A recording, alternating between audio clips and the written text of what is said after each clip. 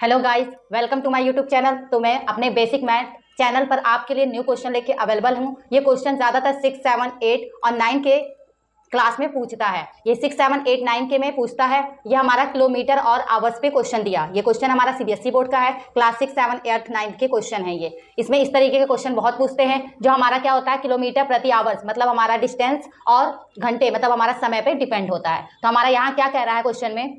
Suppose a truck travel 60 kilometre in first hour. कह रहा है कि हमें सपोज़ करना है कि मतलब मानना है कि हमारा क्या है, एक घंटे में एक जो मतलब ट्रक है वो ट्रैवल कर रहा है, यात्रा कर रहा है कितने किलोमीटर? 60 किलोमीटर मतलब 60 kilometre. And 80 kilometre is second hour. दूसरे घंटे में वो कितना यात्रा कर रहा है? 80 किलोमीटर। तो what is average speed of truck इससे पहले भी एवरेज का हम क्वेश्चन बताए थे। ये फिर से एवरेज का क्वेश्चन हमारे पास है। तो इसमें क्या करना है, हम लोग को डिस्टेंस निकालना है और टाइम निकालना है। तो अगर आपका वो निकल गया तो आप एवरेज की स्पीड वाला फॉर्मूला लगा के फटाफट इसे सॉल्व कर सकते सकते हैं। तो पहले हम लोग क्या निकालेंगे? टोटल डिस्टेंस ट्रेवल निकालेंगे। मतलब यात्रा की कुल समय निकालेंगे। हमारी क्या होगी? यात्रा की कुल दूरी निकालेंगे। तो क्या हो जाएगा हमारा? टोटल टोटल हो जाएगा डिस्टेंस हाँ कुल दूरी किसकी? ट्रैवल यात्रा की हाँ ट्रेवल इक्वल हमारा कितना दिया? सिक्सटी और एट्टी दिया। तो क्या कर देंगे? सिक्सटी प्लस एट्टी कर देंगे, दोनों को ऐड कर देंगे तो हमारा क्या हो जाएगा? वन हंड्रेड फोर्टी हो जाएगा। तो हमारा डिस्टेंस मतलब दूरी तो हमें पता चल गई। अब हमें क्या निकालना है? टाइम निकालना है। तो निकालेंगे टोटल टाइम टेकन हाँ? टोटल टाइम टेकन निकालेंगे तो हमारा कितना दिया है? वन आवर्स और फिर प्लस वन आवर्स दिया।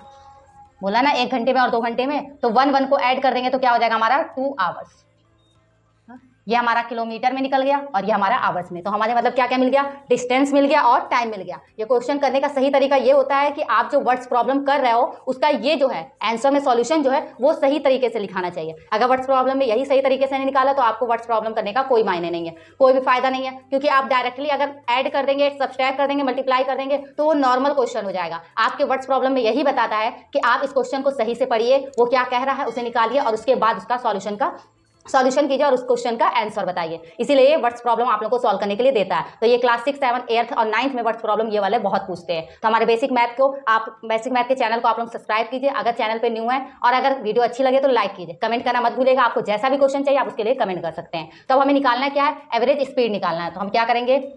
एवरेज स्पीड का फॉर्मूला लगा देंगे। एवरेज स्पीड हाँ। तो क्या हो जाएगा हमारा? टोटल डिस्टेंस टोटल डिस्टेंस मतलब कुल दूरी अपॉन टोटल टाइम मतलब कुल समय। कुल टोटल टाइम कुल समय।